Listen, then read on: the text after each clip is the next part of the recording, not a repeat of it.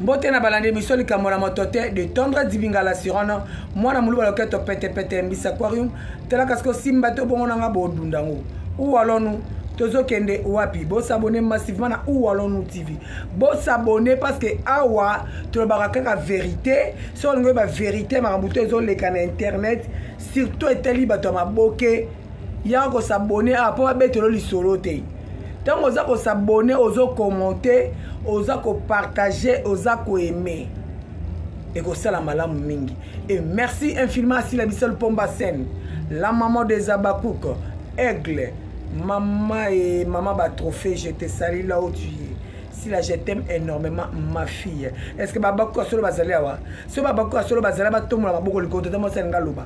ta mwasi aye alingi aloba baverité ya somo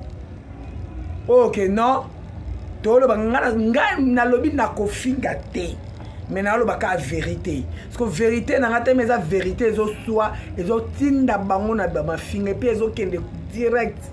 na baréaction namona bacommentaire okende batya bacommentaire wana batali mpe bavie wana meme otangi ka titre mpamba esangaka bien lobo obosana Merci infiniment à maman Olive Lembe Kabila. Euh, merci infiniment maman Olive, euh, maman Wario, maman Baka difficile. Merci maman obotama no motema malamu zanoka bongo kola na ba yuma wana te bazala ba ingrate depuis. Donc ils ont ndenge na bango. Euh, merci infiniment na maman Zozo na Inde, merci na Tanka Jinga. Merci na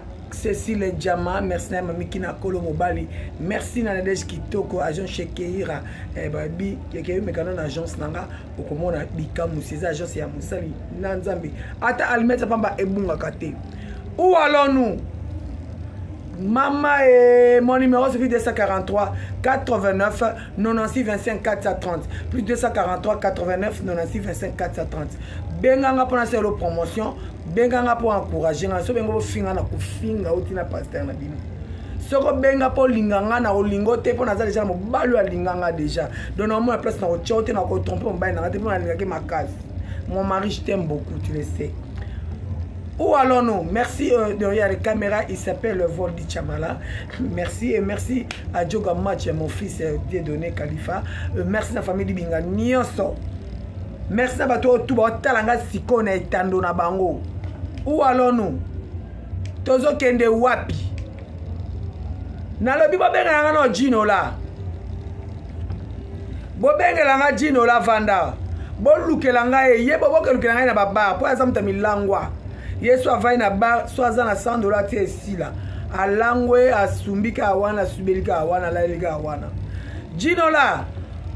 oyebi ke ngai nalingaka buzoba te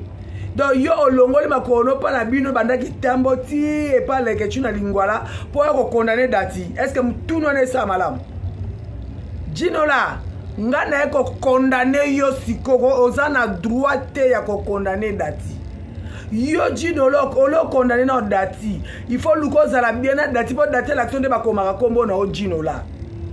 il faut alakisa yo ndenge bakomaka nkombo no jinola senga merci whatsapp mpo bakoma otika bato basalaka bavoice mpo na kokoma mpenza noko zero on se connaît comprendre jinola wana droit kokogangela nani nani nani nani dati te na ndenge nini yo mpe okogangela dati eske motunu esala audino oyo aza mayeleti ndenge osalaki bonyama ki santimaka mpo okenda epa e, e, e, bela kuna pesa ba 50 dola na mbongo mama olive apesa kuna mbongo bela apesa kuna eza ebele jino yo oyebi kokosa mama olive ke yo boutaka bakinga kati wana nde bavoyage bavoyage ko bokenda bokenda ti bokota badesert je ne sais pas ezaka mpe wapi soki dubai so wapi okosa bayiba o mbongo ya ndako na ndako oyebi oyebi ke mbongo wana okenda na bako ozwa bandumba bamela masanga bayiba wana mbongo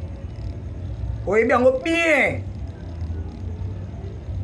naye kobimisa seke oyo na ndambu mpo okoki kokondamne jamais dati en plein air qu'est ce que dati a fait dati asali eloko te dati aye mpo amoni bato bafingi mama oyo ya ye mama olive atali bolamu ya mama eleki ebele nde aye korecadre bato mpo afingaki te ezeka juste aye korecadre korecadre bato yo ye okondane etanke papa papa ya nini yo dati wana banda papa mama kufata ata ti germain toya kotikela ye siko yo oye kofinga so esara mabele polele popo atakini mama olive non siko dati oyo mpe ayekotake bango akorepondre bango akorepondre nde mingi mingi eh, bela mabela na sara mabele polele siko yo okotake dati oganga nani aza nsima dati siko explike biso nani na nsima dati yo nayebisa koko tika kolongola tika kotika mayele na masanga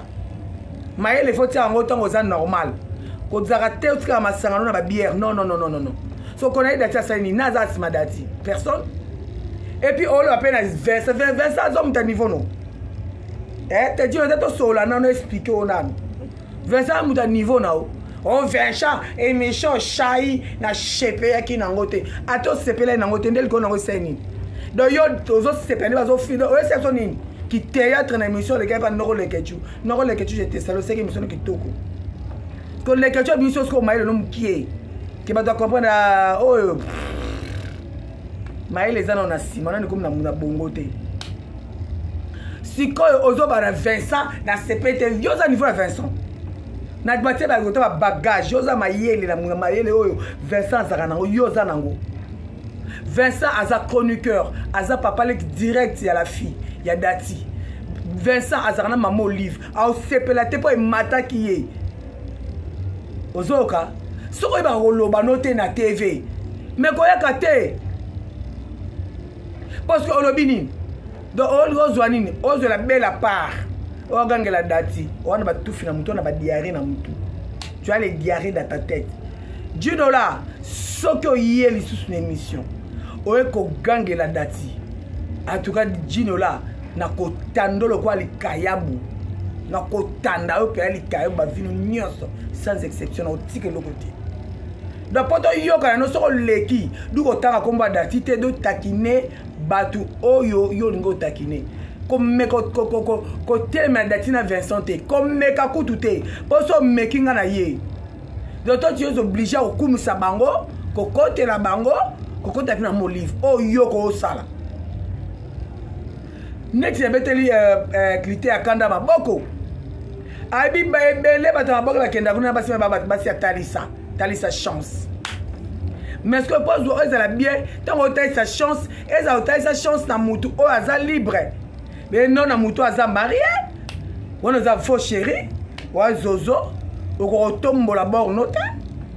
o oh, jinola esengo ya kolinga bababa ebobotolo olingaka to ozalaki na drink obetaki mwa nkoi to mwa kopo po biti oyo nga moni otelemi dati na vincent na moni yango te soki oya na sesi oyaki kodefendre mama olive siko dati asali na aza nsima dati yuma oa vraiment yuma nayemona mpe oa yuma jinola évite komba dati soki omeki otouche sous dati je vais venir epuis ozoloba ozoganga agite na plateau wana maîtrise te wana maîtrise te ta soki jinola yo ozangaki uh, mayele na sagesse na classe ata na entourage même chez le voisin même chez à partir baninga na okoki mpe koaccueillir yango mpo biti ya émission yo oye kosala na comprendre yango te keba na dati amona etike jinola keba keba oyebi ke nayebi yo bien toyebani keba na, na, na youtube etelemela yo te eh? hmm? na youtube etelemela yo te ekotelemela yo ntina 100 krista shoga mon frère je te sali dino bakanda naza yango otonganga mingi oyebi ya eh, dino la otonganga trop vodi attend otonganga trop yo dino la keba na kombo ya dati na vincent nakebisi yo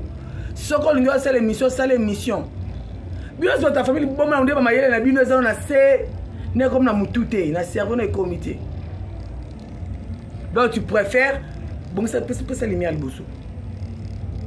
tu préfère ocondamne dati na vincent olongoloka baba epuis yo jinola zingalo lamno bakata yango avant te batiki yango ti okolaki obalaka bakwiti langwa kaka nde olangwa kolemba te epuis nayebi so fosa tu obenga dati osenge pardon na vincent ti tokoma avant tokoma mardi donc lobi keba lite ya kanda félicitation osala émission kitoko otalisi biso ebele bandako ya kuna bayaki talisa chance ya koleka mibala bato zala na chance na basi na mibali okuta na bor na yo moko ou alors nous émission na sila kutu kokeke kanda nakolala boye te abotindela yango jino oladi naozeski oyo répondre nga tokobaluka na potopoto pasteur patron serge oza kilo lokola batie mabanga moelon kima mbangu lata chemise libumu ezala plat yo notre service fret Penielle Shekiria esala ba promotion mpona kotinda biloko ya precisement na Congo Kinshasa. Tosali ba promotion moko eza vraiment intéressant mpona ba carton oyo ezokende par bato. Toza na départ na biso eza le 25 octobre. Totie ba prix moko vraiment ya bien raisonnable. Soki obengi biso kozala jamais dessus. Limero na ngai eza 07 74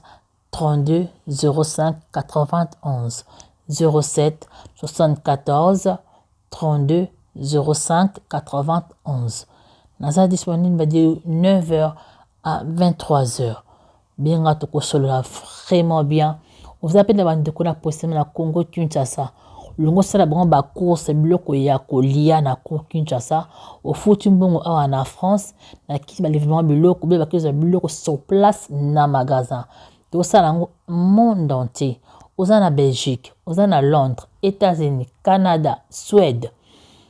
euh, na, na afrique du sud na angola partout na lubumbashi partout en fait obengi biso meme par whatsapp meme par appel normal obengisi so kozwa biso moko nga moko kozwa ngai tokosola kuna malamu mpona kotinda biloko na précisément na congo kinshasa vraiment okozala jamais desi biloko eza vraiment bien eza kitoko ya kopola te ya kitoko olingi mpe olingi mpe bandeko no bamela jus europe mai europe lei europe chocolat europe olingi oyo bilosa na europe na kini mpe ezali na prix moko ya malamu olingi neti bamela panache bamela vin mousse bamela euh, champagne bamela oyo omoni ke esunga bango mpona bafete oyo toza vraiment disponible obengi biso tokosolo kozala jamais dessus je vous aime beaucoup na mot du seigneur nzambe apambola bino soki nzambe asungi te tokozonga lisusu kosolola na bandeko na ngai ciao Maître Kabwani, pour la belle vie TV, pour la belle vie, pour la belle vie. Alors, chose ba 50 000 dollars ya maman. Or, comme vous touchez maman la biso, nga pe na ya na oloba. Tati belle vie, taki ndaka États-Unis, maman livi mutame maye. Tati belle vie pe en réalité oza pe makambo te, na ndenge ya mabete. Oluka fille mo ba maboki, olosa maboki po ozali no pe na mibatu no pe ni. Kutu tiko za ben grâce. so mpo na mama olive te tatu bebe no ovanda na nini na eloko nini na nini kote ya enseignement awa tozonga nano na sujet ono mpe makambo te tati bevi tozonga tozonga bevi akolinga yo te mpani bevi akobeto ba 12 mpo na nini parce que yo na bevi oza na problème te eza na likambo oyo C'est quoi en fait Omoni nalinga loba likambo te. Et tantine sila olimbisa nga.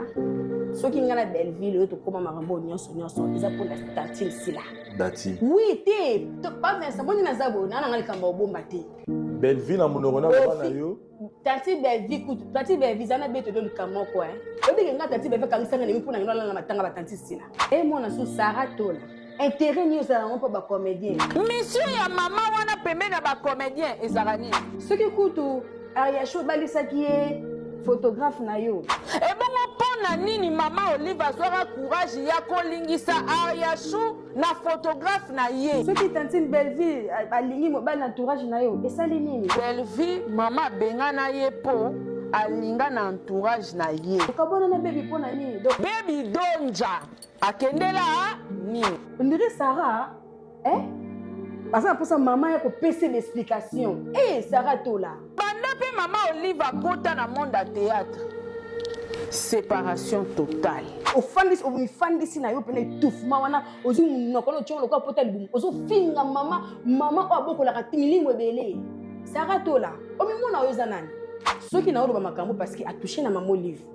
parce que bato baofinga mama ba bato balobelaka ye akoka mpe koyebisa bango e miso bolongola bokata bosala boye ntango ye obimisa mama olive mabe tika nga mpe na explike bato bamabe na ye bato bacomprendre mpe kendee nini oyo oh, ye amatretaka bato makambo oyo naoloba na kiti oyo biro ya bellevie tv